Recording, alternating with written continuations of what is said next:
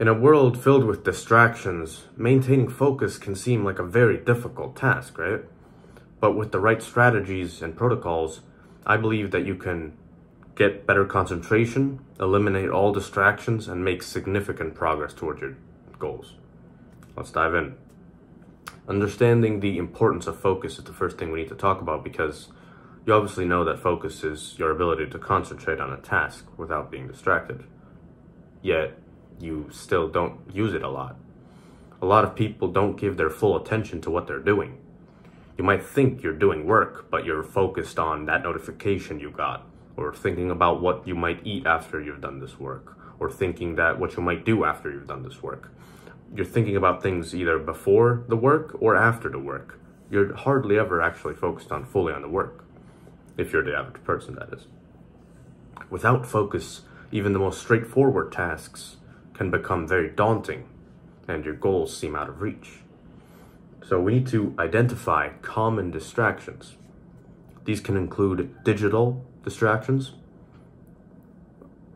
like social media, like the notifications, like the emails, whatever, all of that, right? That comes from your phones or your screens. Then you got environmental distractions, which is your parents making a lot of noise, or there literally being construction outside, or something like that. People interrupting you to talk to you, which breaks your concentration. Then you have internal distractions. Again, the tiredness, the stress, the lack of motivation, stuff like that. Now, let's talk about then the strategies to enhance this focus. You need to create a distraction free environment when you're doing your work. What does that mean? You have to organize your workspace. Keep your workspace clean and clutter free. This makes it easier for you to go and do your work.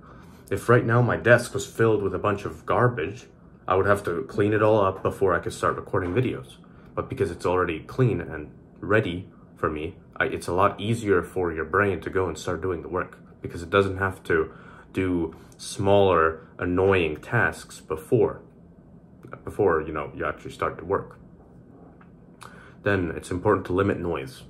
Use noise canceling headphones if you cannot get rid of the noise that's going on outside or just work on focusing really hard on the work because I've noticed that even when there are is noise going around me, it doesn't actually often matter anymore, even if I'm not wearing any uh, headphones because I'm just so focused on the work that like my unconscious kind of blocks out the sound around me. So try to work towards that. But again, if you're not there yet, just use noise canceling headphones or something, or close your door or, you know, try and do all of those things. Next, you need to set boundaries. You need to inform others of your work hours and request to not be disturbed. All right, so let's say you want to go, you're a YouTuber like me, and you want to go write some scripts. You do not want to be interrupted when, when you're writing it, right? So you close your door, but before you do that, you ask, you say, tell your parents, like, I don't know, I'm gonna take like an hour, two hours here. To, I'm gonna do some important work. Can you please not come distract me? And uh, if there's anything you need me to do right now, you know, in the house, I'll do it all right now, and then I'll get to my work. You know, something like that, for example, right? So they don't distract you while you're doing the work, so you can maintain full focus. You need to manage your digital distractions. The first and most important thing is you need to turn off notifications. Anyone who has notifications still on on their phone, I'm telling you, bro, just turn it off, please. Like, it is so stupid. Not even just for your work, but just overall. Because when you're like talking to people and you get randomly notifications and you start looking at your phone when you're literally supposed to be talking to someone, very disrespectful. When you're doing work and then you get distracted by a notification, you go pick up your phone, you're disrespecting yourself. You're disrespecting your work. You need to be doing what you're doing.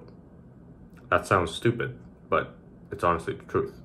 Because when you're doing work and you say, okay, I'm going to take an hour right now and I'm going to write scripts, that you should literally not be doing anything else other than writing scripts in that hour.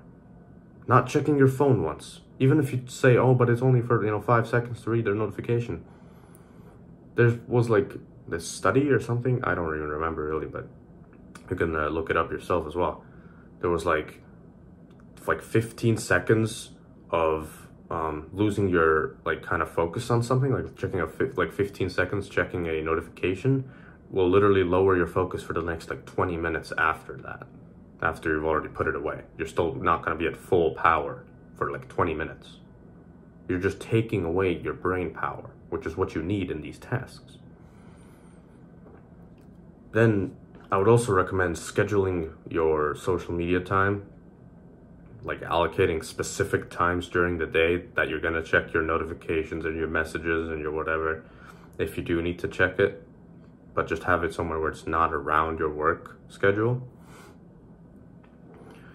Then you need to practice time management. Prioritize tasks that identify you, that you've identified that are most important, right? Tackle the, fir- the most important tasks first when your energy and focus levels are the highest, right? So, how do you develop concentration? You need to practice deep work. You need to make blocks of time, like we talked about, for deep work, which is a single task with no interruptions. And you just do this every single day. Every single day, an hour, two hours, however, if, you can do more, and better, but if you can do an hour, still like an hour a day, that's seven hours of deep work a week. That's very, very productive compared to zero. Stay present. Focus on one task at a time and avoid multitasking at all costs. Now, it's also important to maintain physical and mental well being you need to ensure that you're well rested and getting enough sleep to maintain your levels of concentration. You need to be exercising regularly because physical activity boosts your energy levels and improves your focus even more. You need to be taking breaks. Regular breaks can prevent burnout and keep your mind fresh. Now, these breaks should not be during the block of work, but rather between the blocks of work. So let's say you have a deep work block at, I don't know, 8 a.m. Then from 8 a.m. to 9 a.m., which is a one hour block, no distractions, no breaks. Straight up, you do it. Then let's say you take, I don't know, three hours off, you're doing your, you know, physical workout or eating and all that, whatever.